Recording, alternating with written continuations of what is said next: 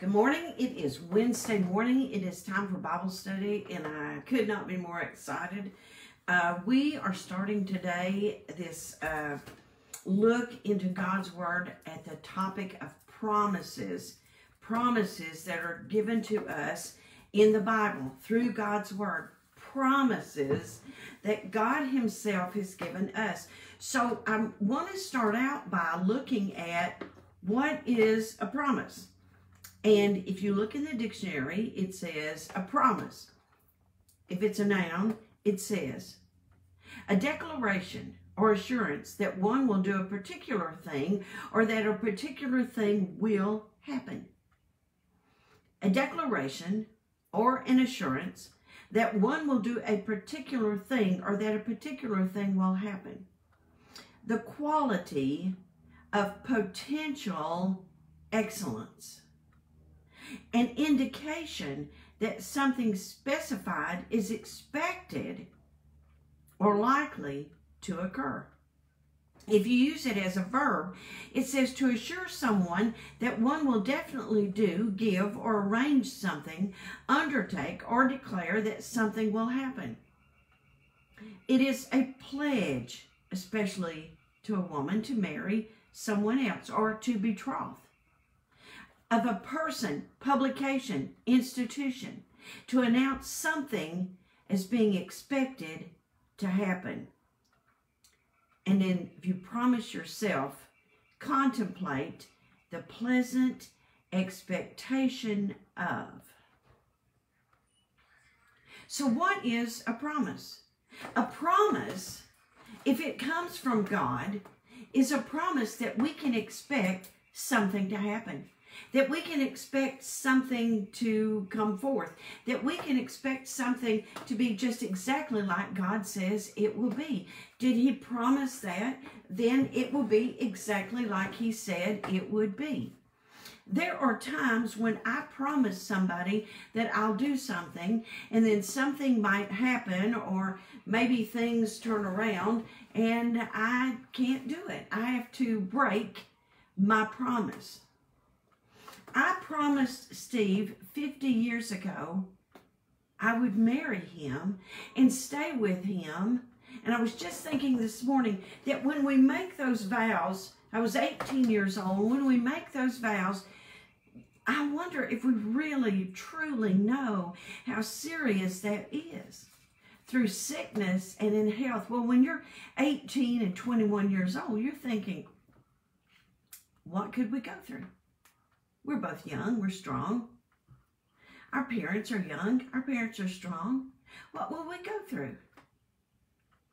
Then, maybe very quickly for some, you realize there are things in our lives that we just don't have control of.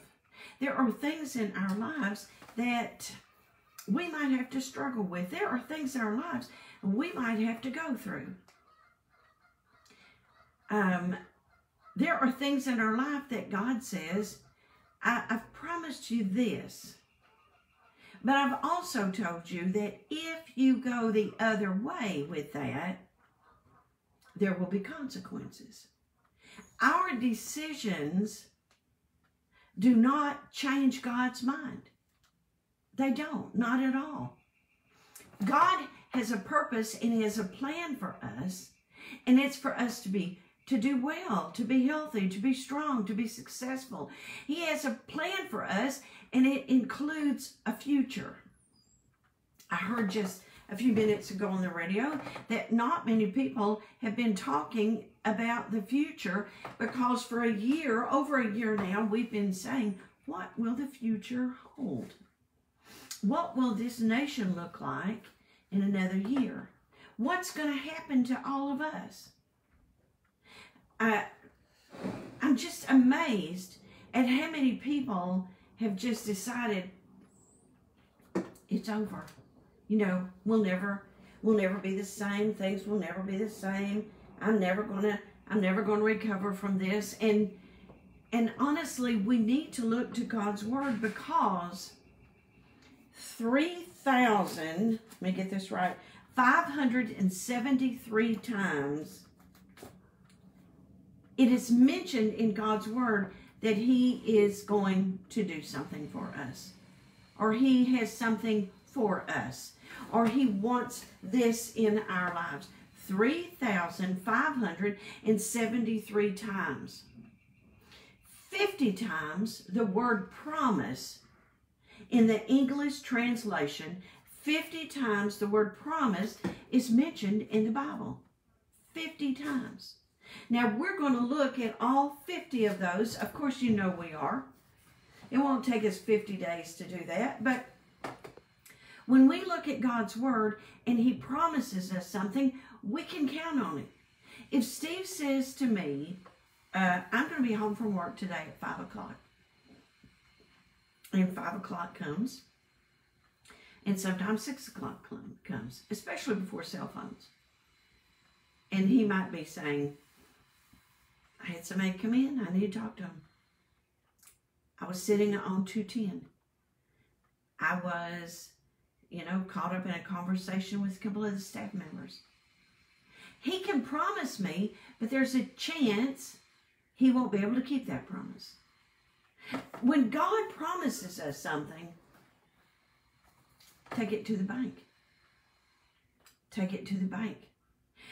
I had a, a woman tell me one time that she was uh, sitting in a service with my father-in-law and the woman next to her said, if right now God said to me, if you go up there and let Pastor Larry pray for you, you're going to lose 50 pounds instantly.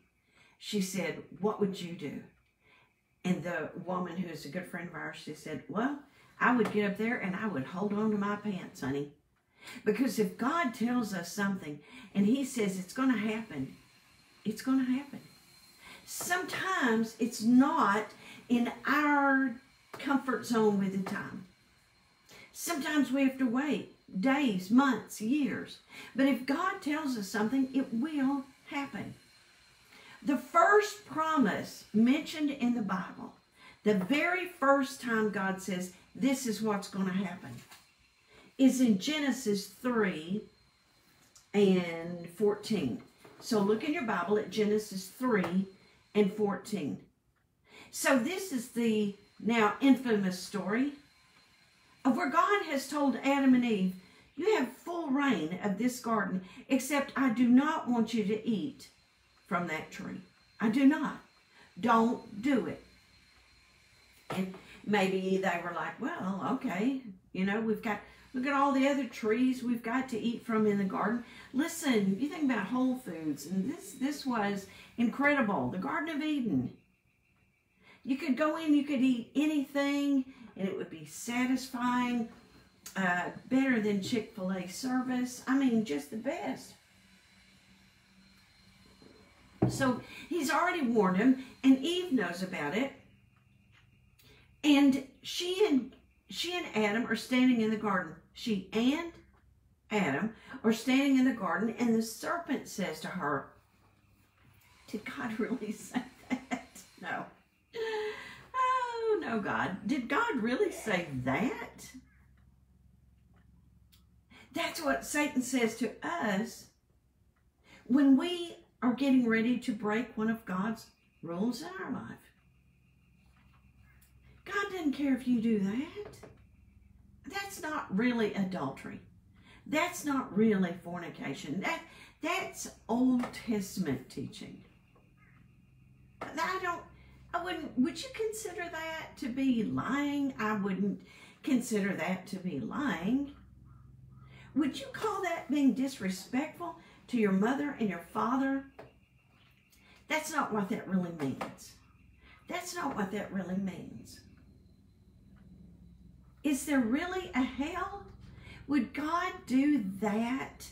This merciful, loving God that you have, would he really allow someone to go to hell? That's how the certain serpent speaks to us now. And we buy it. We eat the apple. We just munch right into it. We share it. We share it with our, our family. We turn around to our family who are standing right there. Adam, the head of the house, So all of these men, all of you men who want to say head of the house, head of the house, head of the house, be the head of the house. Be the head of the house. Why didn't Adam look? He looked over and he saw that she had picked up, picked up that beautiful shiny apple, and and she's holding it out. Mm, She took a bite. Well, just before she gets ready to take a bite, why didn't Adam go, get out of there?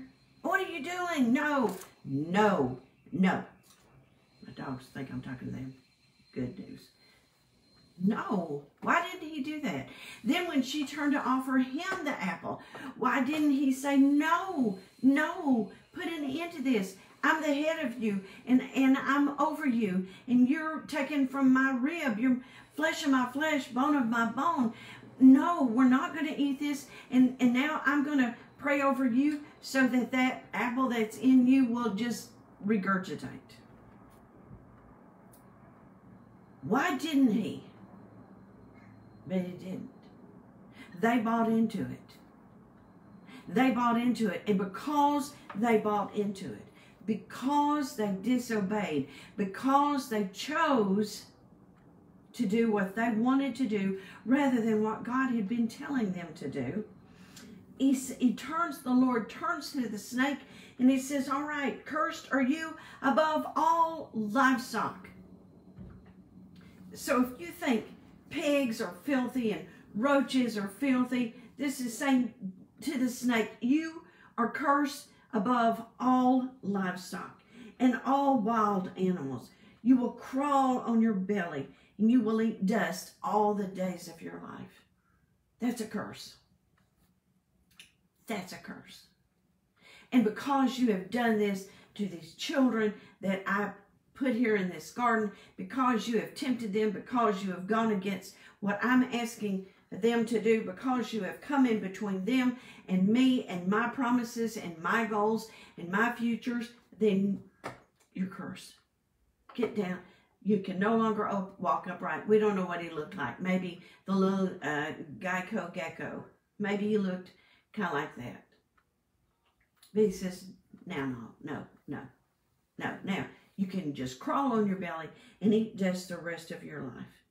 And then he says, and I'm going to tell you furthermore, I will put enmity, or I will put hate. I will put, um, um, I will put, uh, uh, I will put between you and the woman, you and the man. I will put this disconnect. I will put this curse between the two of you that all the days of your life it's going to be coming against you.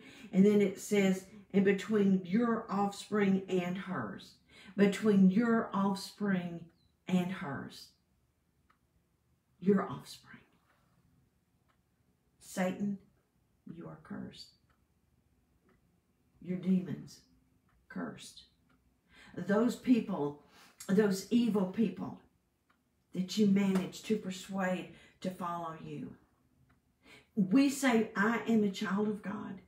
Others say, I am a child of Satan. Satan is my father. That's when when Jesus says when you're lying then the father then Satan is your father and he is the father of lies and that is his native language. So he says I'm going to put enmity between you and the woman. Not you and Adam, you and the woman. Why? Why between you and the woman? Because the woman's offspring, all woman's offspring, they're going to come. And they're going to come against you so hard, so strong, that they will crush your. He, specifically here, he, he will crush your head.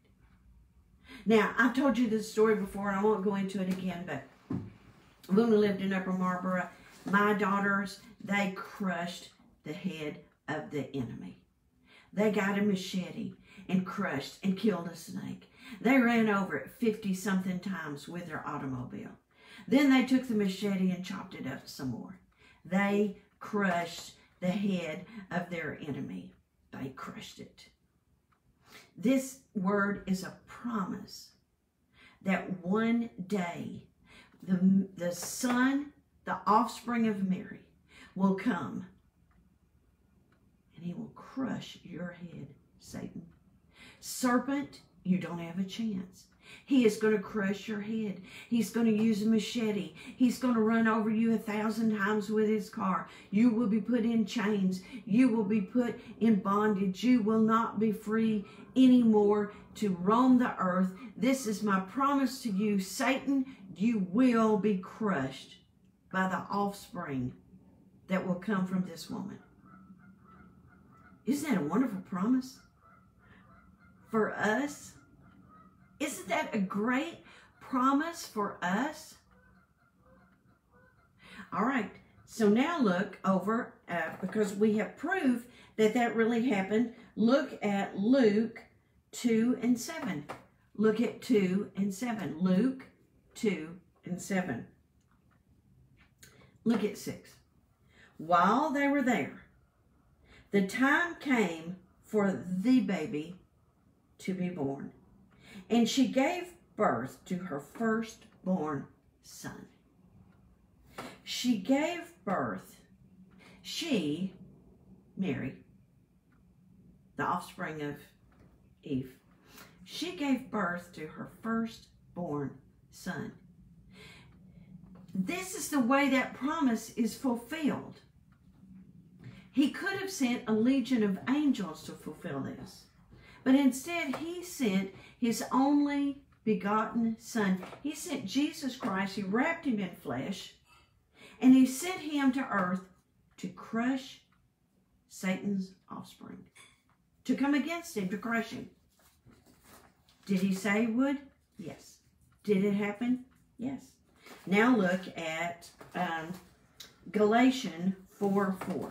Look at Galatians 4 and 4. Galatians 4 and 4. But when the set time had fully come, God sent his son, born of a woman, but under the law, to redeem those under the law, that we might receive adoption to sonship. I want to go ahead because I love this. Because you are his sons, God sent the Spirit of His Son into our hearts, the Spirit who calls out, Abba, Father. So you are no longer a slave, but God's child. And since you are His child, God has made you also an heir. Because you are also His Son. God has made you His heir. He said, Here's how I'm going to do it, Satan.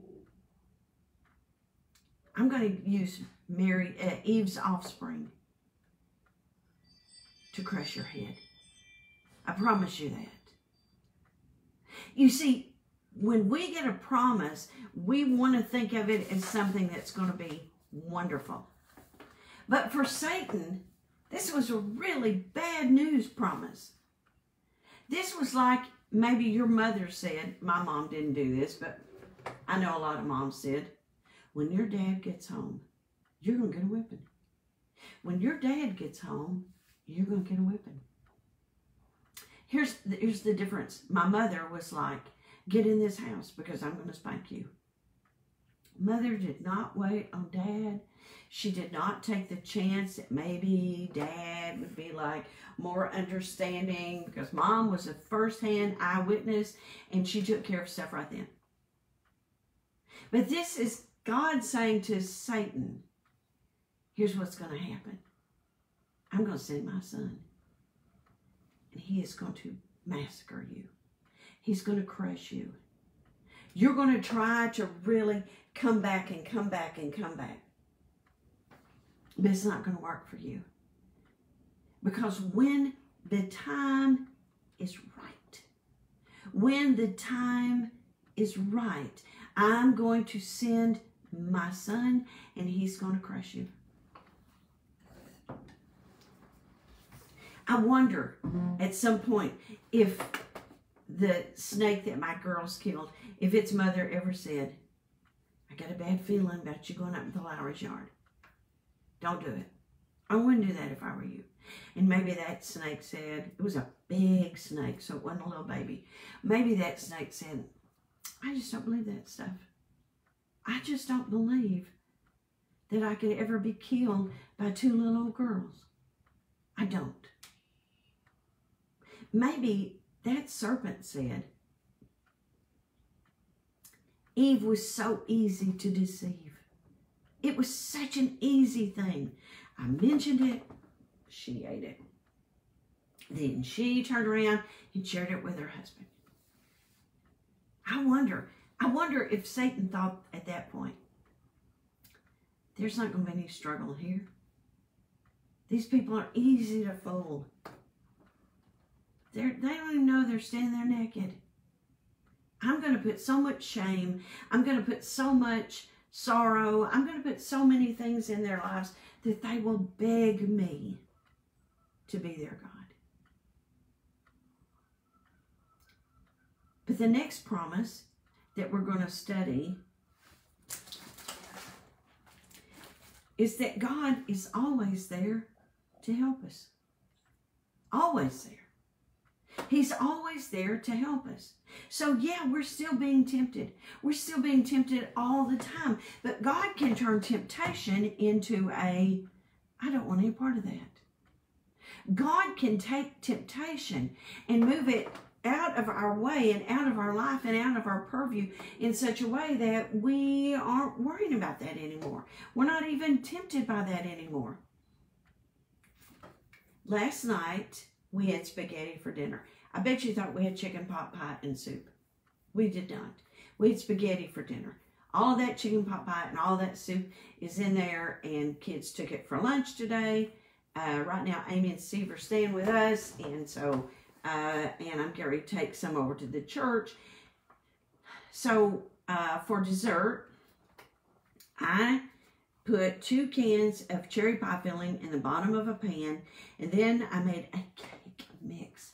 My mother must be like, oh, Janice, oh, Janice, honey, why? Why would you do that? So anyway, I made a cake mix and dumped that on top of that cherry pie filling and let it bake up, and it was delicious. We ate it hot. So all this morning while I was getting ready, the whole time I was doing my hair, I was thinking I'm going to have a cup of coffee. I'm going to have some of that cherry, whatever that is, cherry dump cake. I don't, I don't even know what it is. And I kept thinking, you know, I had some last night. I really should not eat cake for breakfast this morning. So I went downstairs this morning to eat that cherry cake, and it was covered with ants. I don't even know how they got into that cake because nowhere else in my kitchen could I find a single ant. But on the island of my kitchen were ants. Now I'm going to tell you, I was not tempted. Not one minute. I didn't think maybe I could scrape some of those off. No, I completely put it under the sink and just let that water run and wash it away. I'm going to tell you, I truly do believe that God takes care of the temptations if we rely on him, if we depend on him. If we look at things in our life, now I'm not talking about cake right now, but if we, do protein, not protein, Kelly. I should have thought about that. If we rely on Him, if we fully trust Him, if we truly depend on Him, if we truly believe His Word, then these promises are here for us. For us. For us. If I'm following His Word, if I'm following His commands, if I'm following the things that He is leading me into, then I can also say, I fully trust He's going to do it. I had the most awesome daddy, the most awesome daddy.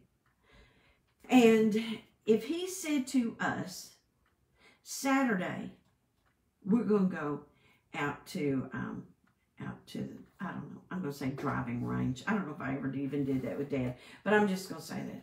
if he said on Saturday, we're going to go to the driving range, if he fell that morning and broke his arm, then as he's leaving the emergency room to get his arm set, we would go to the driving range. We would. But even my daddy could not promise me that I would have peace in my life. My husband cannot promise me that I can find joy in my life. He cannot.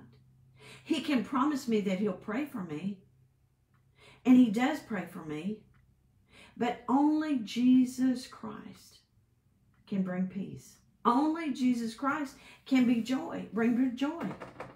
So for the rest of this week and probably next week and maybe above and beyond to infinity and beyond, then we're going to be looking at some promises that God has given us in his word. And we're going to start by looking at the 50 times the word promise is mentioned in God's word. I promise you that. I cannot promise you that we will have Bible study tomorrow. I can tell you that it is my desire, it's my plan. I don't know of any other reason why we wouldn't have Bible study tomorrow morning, but tomorrow morning, if I get up and I can't get the Wi-Fi in my house to work and I can't get my phone to turn on and and there have been days where that just such a crazy thing happened well I can promise you I will not have class. We've had class in my backyard in the car at the church in Cleveland sitting out in the back of a funeral home we've had class in every which way kind of situation I've had class while I had workers tearing my house apart. I've had class while the trash man was making my dog go crazy. I've had class while my neighbor was out here cutting the grass. So I can promise you it is my intention that we will continue having class. And listen, in case you have not heard, Steve and I did announce on Sunday that we are starting the process of retiring from National Church of God. I'm not going to say any more about that because I cannot cry anymore today. It's a good thing. We are retiring in health, in good health. And we're still around. Bible study can go on and on and on because I can do Bible study if I'm laying on the beach in Hawaii and Jesus help me. I hope I get to do that. God's word is eternal. There are no circumstances that can come between us and the promises of God. If God said, I'm going to keep your children, I'm going to watch over you, if He has promised you that, well, come hell or high water, and hell and high water will try to separate you from that truth, but that is the truth. If God promises you, I'm going to protect your child, I'm going to watch over you. When we came up here 40 years ago, and God promised me, if you will do my will, I will keep you and your children and you will be safe. If you stay in my will. Have we been through some stuff? Oh, brother, have we been through some stuff? Are we still here? Yeah, we are. Did he keep his promise? He has. He has, and I expect him to keep it until we are dancing around the throne of glory. When we come into the presence of Jesus Christ and we learn what it means to truly, truly, truly trust him and believe in him, then his promises are yes. Yes, I promise you that. Yes, I promise you that. I promise you. Maybe you're genetically inclined to have something. But if God has said to you, either through his word or through his voice or through one of his servants, that's not going to happen to you. Don't worry about that anymore. That's not going to happen to you. Well, then I'm not going to worry about that anymore. I'm not. God's promises are in His Word. Now, if somebody says to you, God told me to tell you that He's going to do such and such, but it's not in alignment with God's Word, that's not a promise. It's somebody who is a false prophet. If somebody comes up to you and says, God told me that He's going to give you so and so's husband in the next 30 days, you walk away from that. You call it what it is. That's a lie. That's a lie. I don't know where I got so bold, but at some point I became bold enough to be able to say to people, that's a lie. God didn't say that because that doesn't line up with God's word. God's promises. That's what I want to study. That's what I want to be full of. That's what I want to be thinking about. That's what I want to sing about. That's what I want to shout about. That's what I want to talk about. God's promises. And that's what we're going to do for the next, I don't know. I'm not going to set a date because who knows? Who knows what God has in store for us? For those who believe and trust in His name, He has great plans in store. That's a promise. That's a promise. Father, I thank you for your promises. I thank you for your joy. I thank you for your peace. I thank you for the wisdom that we can gain by just opening your word and sharing with one another. God, I thank you for this Bible study, that you've allowed me to be a part of it, that you've allowed all of us to come together and to know you in your fullness and the fullness of your promises. We bless your name today. In Christ's holy name we pray. Amen. Amen. Amen. Amen. I wonder how many of you made chicken pot pie yesterday. I wonder how many of you would like to have some chicken pot pie. I sure would like to share all this chicken pot pie and all of this soup. All right. God bless you. I love you much. I will see you very, very soon. I promise. Tomorrow morning. God bless you. Bye-bye.